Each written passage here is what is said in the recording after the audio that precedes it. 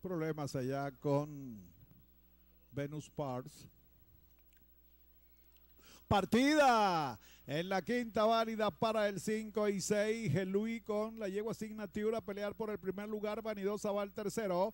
Está atacando ahora para el cuarto Venus Par. En el quinto viene mejorando la piñonera. Luego lo está haciendo Linda Mónica por la parte exterior de la cancha. Enseguida viene metiéndose Candy Crush.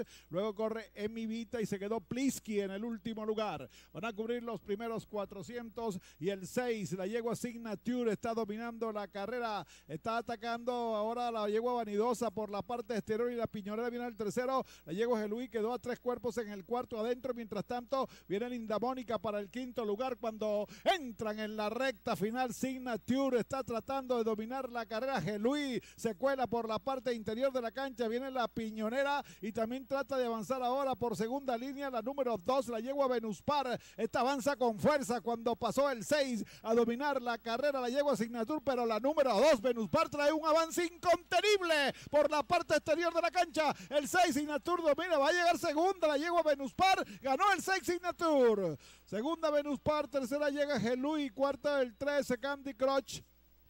Luego estamos viendo a Linda Mónica con la piñonera, el 7 Vanidosa, luego Plisky arribando última, el 9 Mivita. Así que victoria para Signature número 6. Sorprende la pupila de Asdrúbal Jesús Rojas.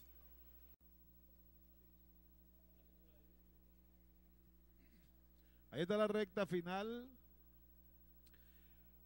Le dije que venía con un avance incontenible Venus Par, pero nada. La yegua se quedó en la atropellada y esta Signature mantuvo ventaja en el primer lugar para ganar y hasta fácil por más de un cuerpo. Las quinta válida para el 5 y 6. En breve